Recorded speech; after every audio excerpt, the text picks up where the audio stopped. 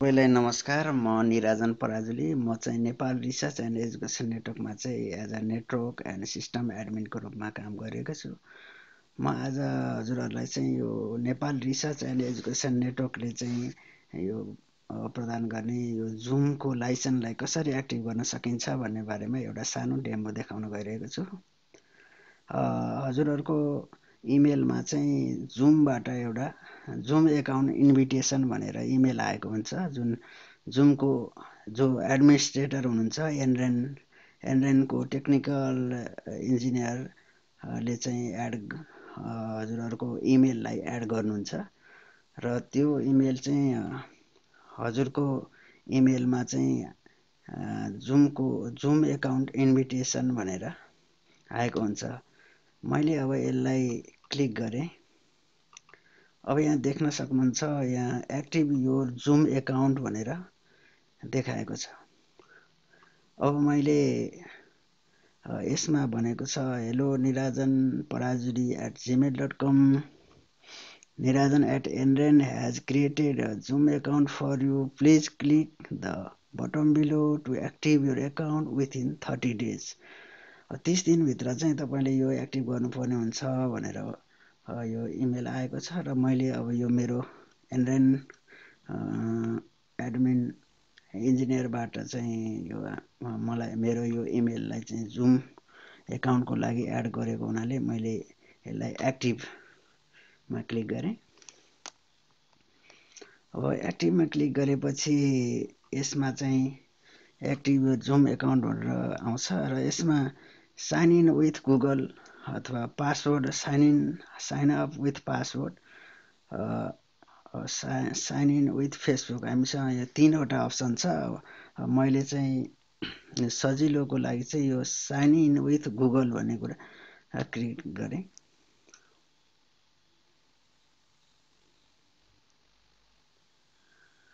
अब यसमा अब मेरो धेरैवटा एकाउन्ट भएको हुनाले कुन चाहिँ हो त भनेर भनेको छ र मैले चाहिँ यो मेरो यो जिमेल एकाउन्ट हजुरहरूको कुन एकाउन्ट जिमेल एकाउन्टमा चाहिँ जुमको एक्सेस भएको छ त्यसलाई चाहिँ पोइन्ट गर्नुपर्ने हुन्छ।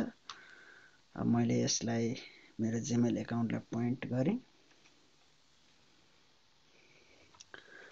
अब वेलकम टु जुम भनेर भन्यो अनि create account create your Zoom account with your Google account Google एकाउन्टसँगै create गरेर भनेर चाहिँ यसरी भन्यो। मैले क्रिएट एकाउन्ट गरेँ। अब यसपछि अब मेरो चाहिँ जुम होस्ट एकाउन्ट चाहिँ एक्टिभ भएको छ। हजुरहरूलाई म देखाउन गइरहेको छु।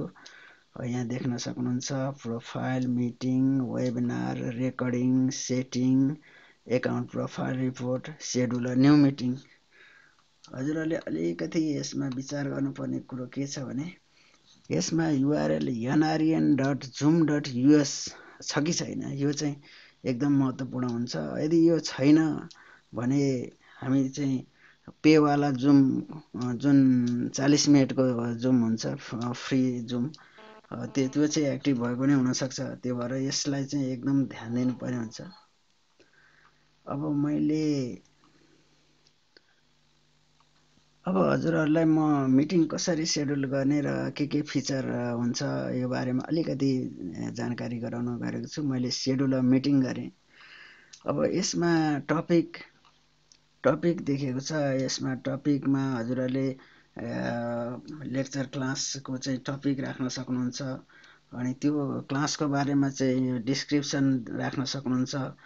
अब मिटिङ कहिले हो क्लास कहिले लिने यो बारेमा चाहिँ हजुरहरूले यहाँ डेट राख्न सक्नुहुन्छ र कति बजे सुरु गर्ने भन्ने कुरा। अनि यो ड्युरेसन कति कति घन्टाको क्लास हो त्यो पनि यो यसमा राख्नुपर्ने हुन्छ। अनि यो टाइम जोन पनि एकदम महत्त्वपूर्ण हुन्छ र हाम्रो टाइम जोन चाहिँ काठमाडौँ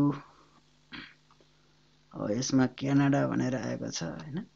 अब मैले चाहिँ काठमाडौँ भनेर यहाँ सर्च गर्दैछु। पाँच पैँतालिस चारमा पुग्यो। अब अलिकति माथि नै। माइनस यता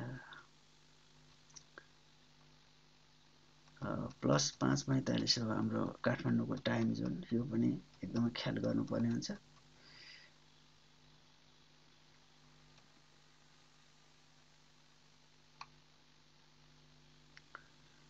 पाँच तिस आयो। पाँच पैँतालिस हजार। अब यो मैले काठमाडौँको टाइम जोनलाई चाहिँ क्लिक गरेँ। अब यसमा योभन्दा तल आएपछि यो रिकरिङ मिटिङ भनेर हामीले यो मिटिङ दिनदिनमा दोहोऱ्याएर गर्ने हो भने यो यसमा रिकरिङ मिटिङ भनेर हामीले क्लिक गर्न सक्छौँ। अनि यसमा रजिस्ट्रेसनको कुरो छ रजिस्ट्रेसन रिक्वायर्ड हो भने रजिस्ट्रेसन यसमा हामीले टिक लगाउन सक्छौँ यसरी। रजिस्ट्रेसन गर्नुपर्ने हुन्छ मिटिङ जोइन गर्नु अगाडि।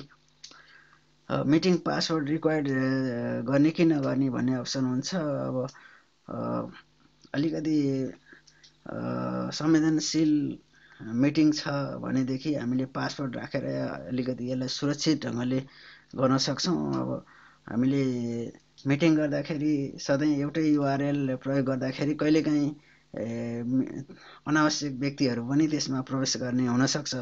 त्यो भएर मैले हजुरहरूलाई मिटिङ पासवर्डलाई चाहिँ हजुरहरूले अब कस्तो खालको मिटिङ लेक्चर गर्दै हुनुहुन्छ। त्यस त्यो बारेमा चाहिँ अलिकति ध्यान पुर्याएर गर्नु होला मैले चाहिँ यसलाई अन्टिक गरेँ अहिले। अनि भिडियोमा गएपछि भिडियोलाई अन र पार्टिसिपेन्टलाई अनमै छोडिदिनु होला। अब यसपछि यसमा आयो बोथ अडियो अडियोलाई बोथ नै छोड्नु होला।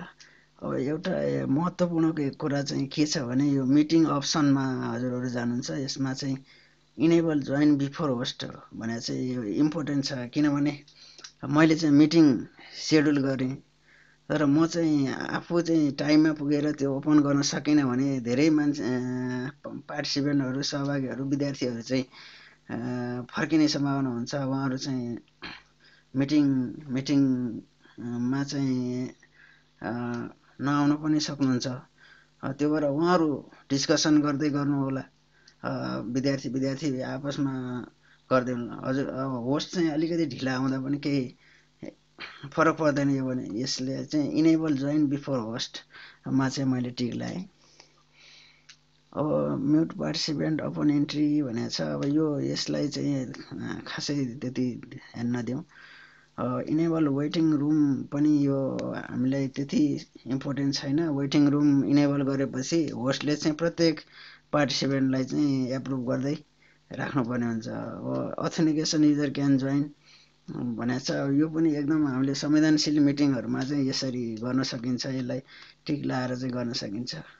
अनि रेकर्ड द मिटिङ अटोमेटिकली भनेको छ। अब हामीले चाहिँ सकेसम्म यो किनभने अटोमेटिकली रेकर्ड मिटिङ सुरु हुने बित्तिकै रेकर्ड गर्ने अप्सन भन्दा नि हजुरहरूलाई चाहिँ हामी सजेसन दिन्छौँ।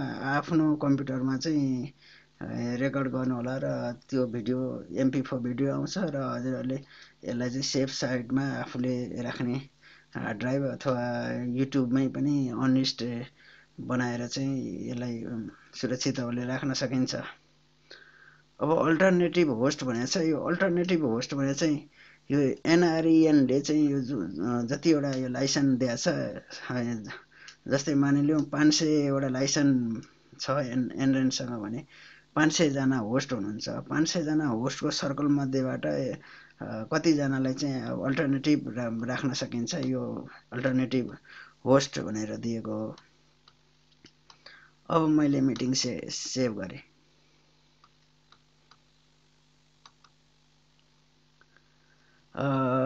ड्युरेसन भनेको छ इन्टर द ड्युरेसन।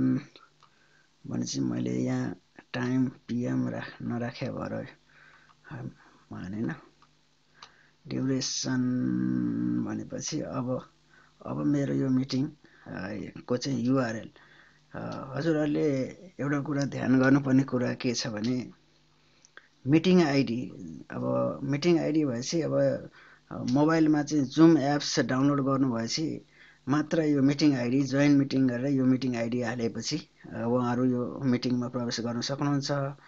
अर्को चाहिँ अब यो जुन हजुरहरूले एउटा भाइबर ग्रुप मेसेन्जर ग्रुपहरू बनाएर चाहिँ विद्यार्थीहरूलाई यो आइडीलाई चाहिँ सर्कुलर गर्नु भएपछि विद्यार्थीहरूले चाहिँ यो यो युआरएल क्लिक गर्ने बित्तिकै अटोमेटिकली चाहिँ उहाँहरू चाहिँ यो मिटिङमा प्रवेश गर्नुहुन्छ। अब मैले यो मिटिङलाई स्टार्ट गरेँ। अब एकैछिन टाइम लिन्छ यो केही सेकेन्ड चाहिँ यसमा लाग्छ। अब एप्लिकेसन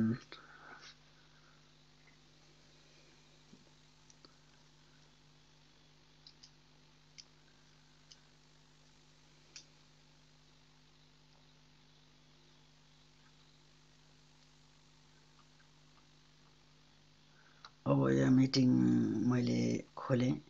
मैले यो भिडियो बन्द गरेको छु र मैले अहिले यो फोटो भिडियो बन्द गरेँ। माइक्रोफोन अनम्युट छ। अब यसमा अलिकति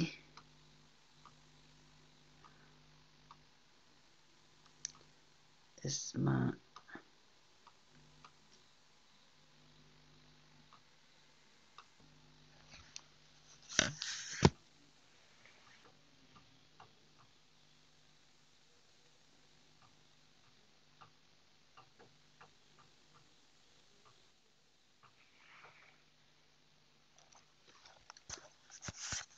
अब अब यसमा चाहिँ यहाँले देख्न सक्नुहुन्छ माइक्रोफोन भयो।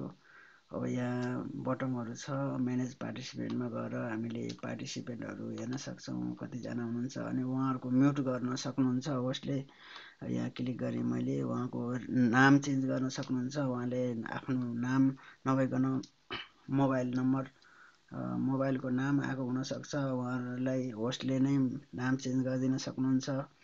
अर्को यहाँ देख्न सक्नुहुन्छ च्याट बटन छ। च्याटमा चाहिँ विभिन्न अब क्वेसनहरू राख्न सकिन्छ।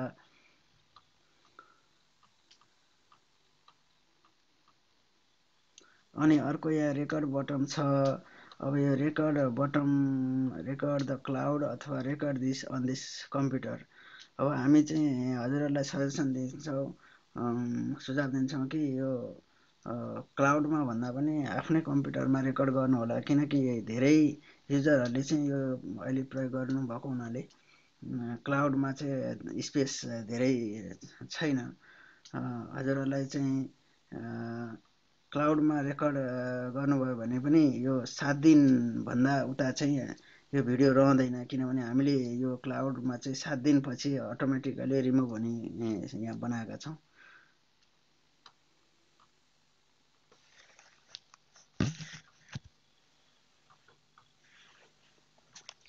हजुरहरू सबैलाई धन्यवाद। हजुरहरूलाई केही समस्या भएमा मलाई मेसेन्जर फेसबुकबाट पनि मलाई च्याट गरेर सोध्न सक्नुहुन्छ। मेरो भाइबर वाट्सएपमा पनि मेसेज ड्रप गर्न सक्नुहुन्छ। मेरो मोबाइल नम्बर रहेको छ अन्ठानब्बे एकचालिस त्रिहत्तर पन्चानब्बे उनान्सय भाइबर वाट्सएप अनि फेसबुकमा यहाँ देखिरहनु भएको छ। यसमा फेसबुकमा एड गर्न सक्नुहुन्छ मलाई र केही समस्या भएमा मलाई सोध्न सक्नुहुन्छ। हस् त धन्यवाद। नमस्ते। हजुरहरूलाई